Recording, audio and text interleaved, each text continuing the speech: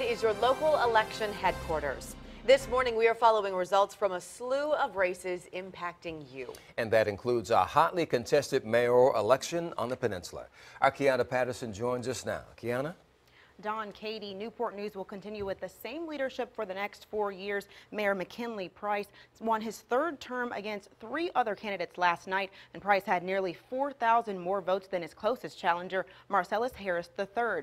Now, we were with him last night when he celebrated the victory with his family and friends, and Price says his goal for the city is to bring more businesses and more jobs to the area and avoid tax rises. Now, he also hopes to work with the school board to make sure they're on the same page with council members members when it comes to teacher pay.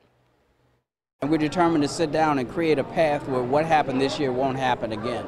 We're, our transparency and our budget making needs to be with both bodies so that they can see what resources are available and match that with the needs and wants that they have so that we don't have this disparity.